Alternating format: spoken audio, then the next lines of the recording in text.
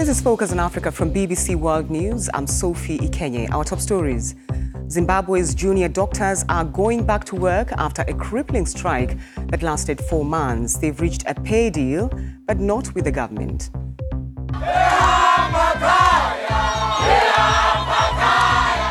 The crisis in Lesotho, protesters call for the Prime Minister to resign as the investigation continues into the murder of the former First Lady.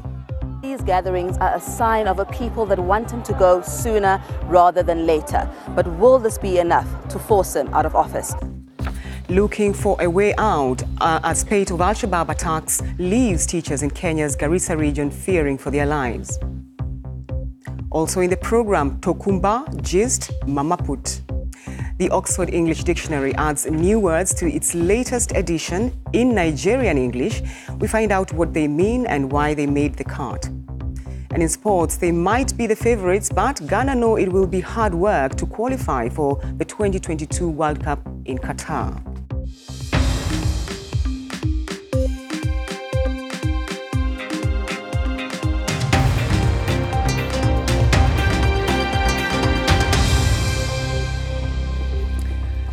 Thanks for joining us on Focus on Africa from BBC World News. It was one of Zimbabwe's longest strikes, and now, after four months, the country's junior doctors have agreed to return to work. But the deal to end the dispute came not from the government, but the telecoms billionaire Strive Masiyiwa. Shinga is in Harare. The impasse between the government and doctors had dragged on for months, and uh, it took a private citizens' initiative to end it. The doctors have agreed uh, to accept an offer from uh, the telecoms billionaire Strive Masiyiwa's family foundation. Um, his family has offered to pay close to 300 US dollars a month to each doctor, as well as assistance and communication costs and transport. Uh, doctors up until now had been taking home uh, less than 150 US dollars a month. I'm standing here at uh, Sally Mugabe Hospital, uh, which is one of the largest public hospitals, and the doctors have been coming back to work, and uh, some of the wards have reopened, and services that had been suspended have been resumed. We still call upon the government to look into our uh, uh, grievances because they are genuine, and uh, that hasn't, hasn't changed at all. For us to be able to operate at maximum capacity, offering quality healthcare system, it needs uh, the government to seriously look into this issue and invest into our healthcare system. The allowances will only be paid for six months, and it's not clear what will happen after that. But for now, one of the longest strikes in recent history, one that crippled the healthcare system and left an unknown number of people to die, has ended. Shinga Nyoka, BBC News, Harare. Well, let's bring in Zimbabwe's Finance Minister Mthuli Ncube. He joins us live from the annual World Economic Forum in Davos in Switzerland. Thanks for taking time to talk to us uh, on the program. We'll talk about the economy in just a moment. But first, a private citizen strikes a deal with doctors in Zimbabwe. It really does not look good for the government. It's like you didn't really care. Oh, we, we, we care. I mean, the, the, the issue is that really we have uh, limited resources. Uh, but we are, we are in constant dialogue with the civil servants. We value what they do. And really, we appreciate that the doctors have gone back. Uh, I think really the gesture that we've received from the private sector uh, uh is really shows that government is willing to work with the private sector on a public-private partnership uh, basis. So, so we welcome this, and government is doing its part, and we are delighted that the private sector was able to assist. Uh, in this case, in the form of Econet shareholder. Uh, one of the issues that was raised by the doctor that, that we spoke to was that there is an, uh, um, an issue of not looking quite genuine. There's no genuineness from the government. What can you tell Zimbabweans? Oh, the, uh, government is very genuine about, uh, you know, uh, uh, interacting with the civil servants. Uh, just before I left, we approved an allowance again to cushion the civil servants from the the impact of inflation, to make sure that they can afford uh, school fees. And again, with the doctors, we're trying very hard to offer them beyond salaries. These basically are the forms of, uh, of, of uh, you know, emolument, such as you know, an ability to own their home, uh, uh, they can access uh, various stands and so forth, as well as the ability to import uh, vehicles and other allowances. We're mm. trying everything we can, but of course we do have limited resources, and we, we, we really appreciate the understanding, and, but we'll continue to dialogue and continue to do more. Mm. Mr. Ncube, there are people who are wondering what was the thinking behind uh, today's ruling that local debts incurred before 22nd February 9, 2019 must be settled in local currency. Businesses are complaining. Banks say this is quite unfriendly. Oh, well, you know that there's a separation of powers between the judiciary, the executive, and then the uh, legislature. This is a decision of the uh, judiciary uh, as they see things. So, really, uh, uh, it's, it's, their decision, and we're law abiding citizens, so we have to abide by that. It, is it a really good decision, in your opinion? Is it a good, as an economist, is it a good decision, in your opinion? No, no, no. I, I, you know what? I, I, cannot comment as an economist. I'm the Minister of Finance. So I have to accept the decision of the judiciary. Uh, uh, we have a separation of powers. It is our job to abide by the law, and we're, we're going to do that as government. And I expect every citizen to do the same. Mm. Now, the country is, is still in dire need. In fact, the United Nations has warned that Zimbabwe faces another poor harvest this year. Are you prepared? What, what level of, of preparations are you in? Who's helping you with this? Or as government, we're, we're more ready this year than last year, I can assure you. Uh, first of all, we've, we've put in place uh, credit lines. We're able to import uh, food, uh, maize, uh, wheat uh, from all over the world, from the region. we're working very well with, with our domestic banking sector as well as international banks. That's, that's the first thing. we're also supporting agriculture and trying to climate proof our agriculture, support irrigation investment. We're going to be supporting the, the winter wheat growing program uh, but also on encouraging the planting of uh, drought resistant crops, what we call traditional grains. Uh, what used to be called small grains uh, in the local language. Mm. So we're doing everything to make sure that food is available. We will not allow any Zimbabwean to go hungry. On the price right. front, we're also aware that some of this food is very expensive. So we're putting in place subsidies for cornmeal, and, and, the, and this is well accepted by the citizens, and they appreciate it. I'm, I'm curious about your thoughts on the sanctions uh, from the United States, and there have been calls for, for them to be lifted. What's the likely impact uh, of, if they are not lifted? What, what would happen to Zimbabwe, uh, in your opinion? Well, the restrictions on certain citizens and companies in Zimbabwe is impacting the access to uh, global credit lines, and also there's a contagion effect. If a specific individual is affected, then there's a you know a question mark as to whether you know one would want to deal with them just in case then they, they affect the next person and the next person. So the contagion effect is also part of the problem. So quite clearly, uh, uh our access to uh, you know uh, to a credit lines globally is being impacted by these restrictions. Uh, it would be great if we can make progress and these are lifted. I think Zimbabwe has made a tremendous progress since 2003 uh, in, in, terms of dealing with the issues that were raised back then that became the basis for imposing the, the, these restrictions. And, and the progress we have made is, is, on the legislative front. We had peaceful elections. We had unfortunate with some incidents, uh, lives were lost, but the uh, elections were peaceful. Mm. Uh, we also have made reforms on the economic front. Zimbabwe is also out of the DRC. If you recall well back, be, uh, uh, being involved in the war in the Democratic Republic of Congo was an issue back then, but we're out of that now. So a lot right. has happened, and there's a need to update information uh, which will show that Zimbabwe has indeed made a lot of progress. We have to leave it there. And Mthuli Ncube, thank you very much indeed for taking time to talk to us on Focus on Africa. Thank you. Thank you very much. Now, in Lesotho, there's still no sign that the crisis involving Prime Minister Thomas Thabane will be resolved anytime soon. Police are still hunting for his wife, Maesaiah. She's uh, wanted for questioning about the murder of the former First Lady. But there's growing pressure on uh, Mr. Thabane to step down immediately. And uh, the people of Lesotho have started taking to the streets in protest. Pumza Fihlani reports from the capital, Maseru.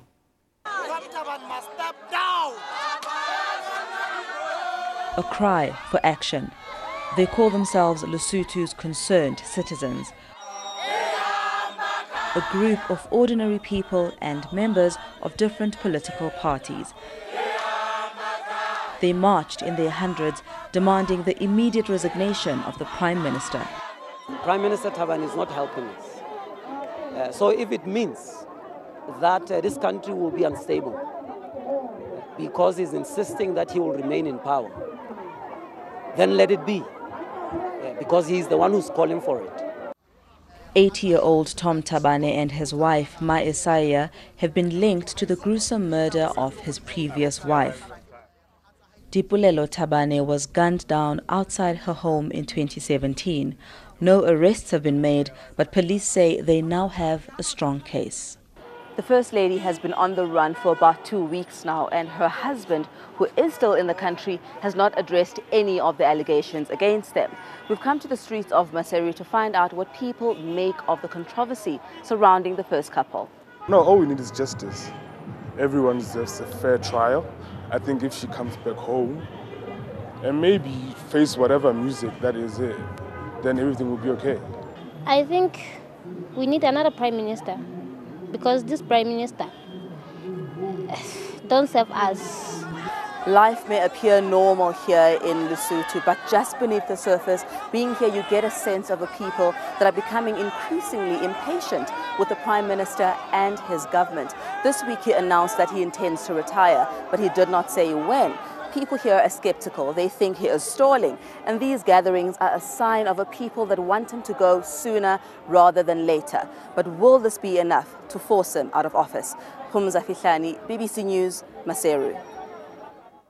Let's take a quick look at other stories making headlines across Africa and the rest of the world.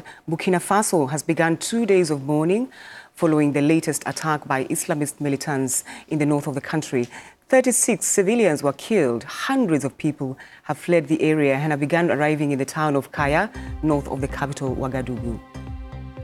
Pre President Trump says the U.S. is adding more countries to its controversial travel ban list. Speaking at the World Economic Forum in Davos, Mr. Trump said the changes would be announced soon. Reports from the States say seven countries will be added, including Nigeria, Eritrea, Tanzania, and Sudan. Citizens from countries already on the list cannot travel to the US or face severe entry restrictions. Burundi's parliament has voted to pay half a million US dollars to President Pierre Nkurunziza and provide him with a luxury villa as he prepares to leave office.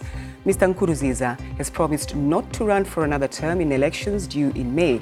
The draft law, which has been presented to the cabinet for approval, awards him a lifetime salary. Now, dozens of teachers in Kenya's Garissa region in the northeast of the country say they fear for their lives and want to leave the area. The Islamist group Al Shabaab has carried out six attacks in five weeks in Kenya, killing 25 people. Garissa is vulnerable. It's close to the porous border with Somalia, and uh, the th uh, three teachers and three students from there have died in these attacks. The BBC's Ferdinand Omondi reports from Garissa. Lucy counts herself incredibly lucky to be alive, and she is. Few have been raided by the dreaded Al Shabaab militants and lived to tell the story. One night in January, Lucy recalls the disruptive sound of automatic rifles ripping up the silence of her school residence. She says she crawled under a bed, tightly holding her two year old. She survived the night with two female colleagues. Three others in a separate room were killed due to the trauma that we went. I would not like to be in that area anymore. I can't go in an institution where I was in the same staff with my teachers, with my fellow teachers, and they are no more. Kamuthe Primary School was thought to be among the safest schools in Garissa. It is located some 200 kilometers from the Somali border. It also had a manned police post but Al Shabaab raided both the school and police post and set it on fire. That attack sparked fear among public servants across the region. Teachers from all over Garissa have been flocking to their regional office, some with bags already packed. We have already a shortage of teachers in this particular county. So if we move them out of the county, then we will be creating a national crisis, leave alone a county crisis. The government has sent teams made up of military and special forces to fight Al Shabaab in the frontier areas bordering Somalia. But more than 26 people have died in the six militant attacks since December. Kenya is a country that is largely peaceful and secure. But every life that Al Shabaab takes sows more seeds of doubt and fear about the future. Ferdinand Omondi, BBC News, Garissa. This is Focus on Africa from BBC World News. Still to come, they might be the favorites, but Ghana know it will be hard work to qualify for the 2022 World Cup in Qatar. I'm Sophie Ikenye, and you're watching Focus on Africa, the top stories on this program. Zimbabwe's junior doctors are going back to work after a crippling strike that lasted four months. They've reached a pay deal, but not with the government. Protesters in Lesotho are calling for the Prime Minister to resign as the investigation continues into the murder of the former First Lady. You're watching BBC Focus on Africa. Let's find out what's happening in the world of sport. Victoria Wahunda. Thank you, Sophie. Now, Africa's top national teams can start finally to prepare for the 2022 World Cup qualifiers following the draw in Cairo on Tuesday. Either Cameroon or Ivory Coast will miss out on the tournament in Qatar after the two teams were drawn against each other in the second round of African qualifying campaign. But the indomitable Lions or the Elephants aren't the only ones who've got work to do. Ghanaian journalist Michael Oti Adjei looks at the chances and possible upsets. I think many of the top sides in African football will be reasonably happy with the way the draw for the qualifiers for the 2022 FIFA World Cup went. Uh, of course, there's almost a group of death in one of these, and I think Group D easily stands out. Cameroon, six-time World Cup participant, the most by an African country, are up against Ivory Coast, who have made it a regular habit of showing up at the tournament uh, since they first appeared in 2006 as the uh, undisputed heavyweights clash of the African qualifiers. Ghana versus South Africa uh, in Group G looks also complicated, but that group is even more complicated by the fact that Zimbabwe can turn up anytime they want, or that Ethiopia tend to be tricky, especially when they are playing at home. Egypt have a group they will be happy with, but they have to contend with North African rivals Libya. That always tends to test countries a lot more. And then there's Gabon, who with Pierre-Emerick Aubameyang and uh, would always feel they have a chance. Generally, a fairly balanced draw, one that a lot of the top sides in African football will be reasonably happy with. Ghana's coach CK Akonnor was there as the Black Stars drew South Africa, Zimbabwe, and Ethiopia in Group G, one of the toughest of the 10 groups. He has promised that Ghana will put in the work to qualify. We'll put in the hard work to qualify. You know, Ghana is a, a great football nation, and it is our dream uh, to get to the World Cup. Saying this, we, we know all the teams, South Africa, Zimbabwe, and others, will do their bit to get there, but we'll put in hard work, and we know that hard work pays. Away from the football now, Africa's top women's tennis player Ons Jabeur of Tunisia marches on at the Australian Open in Melbourne. After her stunning opening round victory over the 12th seed Johanna Konta, Jabeur followed it up with a victory over Caroline Garcia of France. The Tunisian came back from a set down to book her place in the third round. And Zimbabwe's cricketers closed the fourth day of the opening test against Sri Lanka in Harare on 30-0 in their second innings. They still trail Sri Lanka's huge first innings score of 515 for 9 declared by 127 runs. Sophie, not this spot be that. Victoria, thank you. thank you. Now, you might take a danfo to work and call the months running up to Christmas, the Ember months. These are just some of the Nigerian English words now included in the Oxford English Dictionary. So let's discuss this. I'm joined in studio by BBC Africa's Bolahan Makjob, and from Oxford by Danica Salazar, the World English editor at the Oxford English Dictionary. Thanks, uh, both of you, for taking time to talk to us. I'll come to you, Danica, in just a moment, but tell us about these words. I know you can't go through all of them, but what do they mean? Well, first of all, Sophie, let me say how far. How far? Yeah, that's how you say hello in pidgin. but then I, I, can also say how you day, how body, uh-huh. how una day. You know, so with pidgin, I mean, it's not. It, you know, one thing can mean several other things. So which which words stand out for you in this particular list that's been uh, added, added into the uh, dictionary? I think for me, the one that that quite intrigued me is the ones that I didn't realize were a problem prior to now. Mm-hmm. So oftentimes in Nigeria, people will say stuff like severally you know, in, in terms of wanting to say several times. Mm-hmm. So we would say severally, or you could say, well, I want this interview to be qualitative, meaning I want it to be of quality. And for a long time, people didn't realize that wasn't uh, grammatically correct at the time. But right now, it is grammatically correct. I can say severally without worrying about it. I can say I want a qualitative interview. I want a qualitative cleaning. I want a qualitative ironing without bothering about it. Let, me bring you in here, uh, Danica. Um, I'm, I'm just wondering how you determine what uh, words should be included in the dictionary? Well, in the OED, we have what we call language corpora. So they're a digitized collection of different texts, and we do frequency studies on these corpora uh, which tell us which words are increasingly being used in different parts of the world so that we can investigate them further and, and consider them for inclusion. But for Nigerian English, especially since it's a regional variety, we also had to rely on local expertise. So for we had um, an excellent uh, Nigerian language consultant called Kingsley Ugwuanyi who gave us really valuable advice on usage and, and also on Nigerian culture. All right. Let's talk about some of the words that you have on you. I think you have a few words on your paper. Ma, ma, I, I, talked about uh, Mama Ember months. What does Mama that? Put. Yes. so Mama Put, uh, you know, with uh, that that means restaurant. Yeah. Because usually most restaurants are run by women, and if you want to buy food, you know, you go there with your plate and you say, uh, "Put meat, put plantain, put rice, Mama, put this one, Mama, put more." And then it's like, what's the point? Just go Mama Put. And hence it became the name for restaurant. Are there, are there, is there, I'm, I'm wondering why this, this is very, um, it can be very popular because not all the words are pidgin. In fact, Danica, maybe you can answer that for us. Not all the words uh, that have been included are pidgin, uh, are they? Yes, so there's the use of uh, the phrase eat money to mean to embezzle or take money in, in an illegal, illegal manner. So that's originally uh, used in, in Nigerian pidgin context. And also the use of chop and chop chop to mean also embezzlement.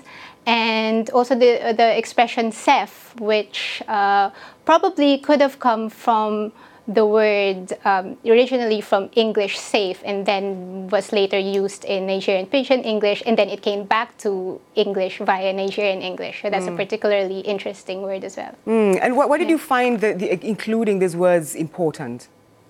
Well, because we believe in the, because the OED, more than anything, is an historical dictionary. So its role is to tell the whole story of the development of the English language, and we feel that especially in today's globalized wor- world, people like the, like Nigerians who speak English as a second language have a very important role to play in this history. So if you're really going to tell the story right, Nigerians have to be a part of it. What about pidgin? Because it's widely spoke, uh, spoken in general. Nigeria alone, 75 million, and the region yeah. too.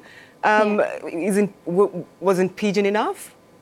Well, uh, well, first, well, the Oxford English Dictionary is an English dictionary, so all the words that are in it are English words. Uh-huh. But uh-huh. we consider Nigerian Pidgin English to be a different language altogether that could just like French or Latin or Greek, which are sources of, of borrowings for English and are languages that enrich in, uh, in English vocabulary of, as a whole, Nigerian Pidgin English can also be a source of borrowings for, for for English, and, mm. and that's a great thing. And that, and we have evidence to show that Nigerians do use these originally pidgin words when they speak in English. All right. Uh, I mean, I have to ask you which words you think should be included in the dictionary. well, it's, it's, interesting because I feel like uh, words like "a beg" should be included. Mm-hmm. beg could mean please or I beg of you. You know, you could you hear the beg, I beg, or it could be I beg, like don't. Mm-hmm. You know, so sometimes it's about the context of how you use it, mm-hmm. and also words like gra gra. What's what's gra gra? Gra gra is when you're being a bit extra, when you're being like. Uh, problematic or aggressive, aggressive. like don't do gra gra or this person's gra gra is too much. So you don't be don't do gra gra here yeah. in the studio. Okay. All right, thank you both. Uh, Danica, thank you very much for taking time to talk to us, and of course, uh, Mark Job. Thank you. Thank you. Pleasure. Thank you so much. Well, um, that's it on Focus on Africa for now. Thank you for your company. Bye bye.